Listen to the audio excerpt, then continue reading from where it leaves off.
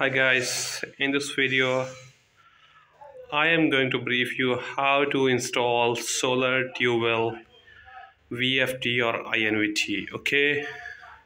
So this is VFD you're looking at okay? So here are the connections I will explain you. You connect your solar panel supply over here. It is mentioned plus and minus okay? And then you get your supply from these outputs U, V, W are three phase. It goes to your solar pump or motor okay? So this is how you connect your VFD to the solar system.